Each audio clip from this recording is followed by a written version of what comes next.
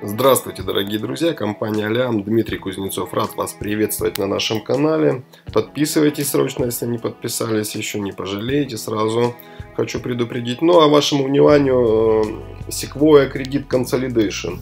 По моим наблюдениям, компания коллекторская, которая специализируется по долгам микрофинансовых организаций.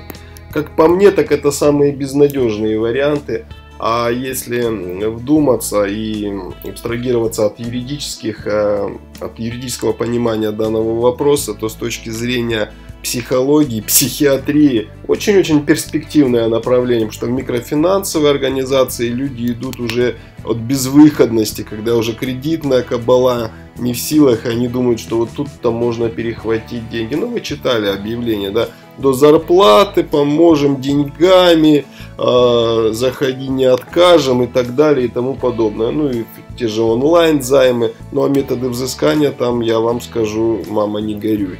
Итак, а, слушаем очередную дурочку из коллекторского агентства Sequoia Credit Consolidation.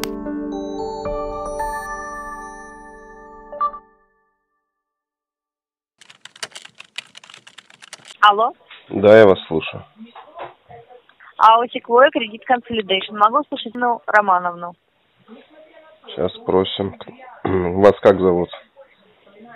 А это коллекторское агентство АО Credit Consolidation. Нет, Мы не- разыскиваем ее по ее финансовым обязательствам. Имя у вас есть? Меня зовут Юлия Владимировна. А фамилия у вас есть? С кем я говорю? Со старшим братом. Ну, вы позвонили, будьте добры, представьтесь полностью, вы официальный звонок Старший совершаете. брат? Вот позовите сестру вашу, которая укрывается от обязательств. Я Нет. обязательно ей представлюсь. Как я- зовут вас старший брат? Меня зовут Домой Дмитрий Евгеньевич, фамилия моя Кузнецов. Смотрите, не страшно. Э, Дмитрий Евгеньевич Кузнецов? Да. Меня зовут Акопян Юлия Владимировна. Я звоню из коллекторского агентства Sequoia Credit Consolidation. И Романовне. Почему вы за нее проблемы решаете? Почему она не отвечает, не отвечает по своему телефону? Ну, вы вперед забегаете, на самом деле, я вас поздравляю, вы верно э, предположили. Вы к телефону Я, можете позвать? я же вам объясняю ситуацию. Я решаю ее проблемы. Для этого прилетел специально На основании чего это вы решаете ее проблемы? на основании устной доверенности. Личную доверенность мы вашу не видим. Почему ваша сестра Потому что доверенность это устная. Никто никуда не скрывается. Письма в банк отправлены.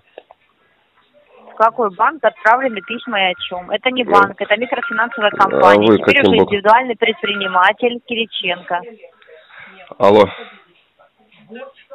Что Да. о вас? Мы коллекторское агентство, мы работаем по агентскому договору. Могу слушать я Ирину Романовну? Вы работаете хоть по какому Я договору? так поняла финансово, вы Если ей у не помогаете, вы всего лишь тратите наше время. Вы Я юридически ей помогаю. Юридически. Юридически будете помогать ей в суде. Пусть общается сама по своим обязательствам. А вы почему на себя Можете взяли право ей решать? Финансово, например. Алло. Потому что она на себя оформила. Да нет, что вы звоните сюда? покупает. К Альфа-групп На постоянно звоните мне сюда. мне. Конечно, звони, потому что укрывается она. Да я не вам, я параллельно каким-то дебилом ответил, звонят мне. лично. Это не вам было Сколько у Ирины сказано. Я поняла. Это Сколько на у друг- Ирины Романовны всего обязательств? Что? Да я еще не у понимаю, кто вы. Зачем вы звоните, кроме Это того, что вы сказали. Я же вам представилась. Ну, знаете, есть такой на суде. 230 Напишите федеральный на закон. номер. 230 Знаете, федеральный вы закон, слышали, да? На основании этого закона, в части статьи 9, кредитор обязан в течение 30 дней после появления третьего лица уведомить клиента о появлении этого третьего лица. Никакого уведомления от банка мы не получим. клиента. Это не мой клиент, это клиент банка. А почему тогда вы настаиваете на том, чтобы я вам отчеты А, давал, и она еще с вами разговаривала? Послушайте меня внимательно. Не говорите монологом. А вашу Монологом не получается. Уведомили о том, что досье передано в коллекторское агентство. Она об этом прекрасно знает. И было прослушано ей не раз э, аудиозапись, смс-сообщения передавались. А письмо на бумаге в законе написано заказным Письмо, письмом, либо курьером. Это внутренний- Послушайте меня внимательно. Если вы Да что мне вас слушать? Мне, я читаю законы, а не слушаю непонятно Когда кого. долг продают, а продажа долга не состоялась нашему агентству. Мы работаем по агентскому договору. На основании 1001 статьи агентский договор вы имеете право напомнить о долге, сообщить о возможных последствиях и положить трубку. Послушайте, вы своими юридическими познаниями будете блистать не в этом... Я ими не блистаю, я вам демонстрирую их. И вам это очень нужно, поверьте. Проблемы. Вы слышите меня? Это У нее нет проблемы. Если вот такая публика решила, что она создавать может проблемы, то это не проблемы. Вы занимаете наше время.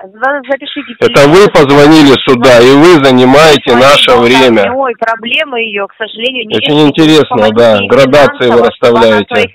Кредиторов, это ваша болтовня. Помогите и то, что вы делаете, это только и есть, что болтовня. Вас как брата. Вы понимаете? Да я все понимаю, уже давно понял.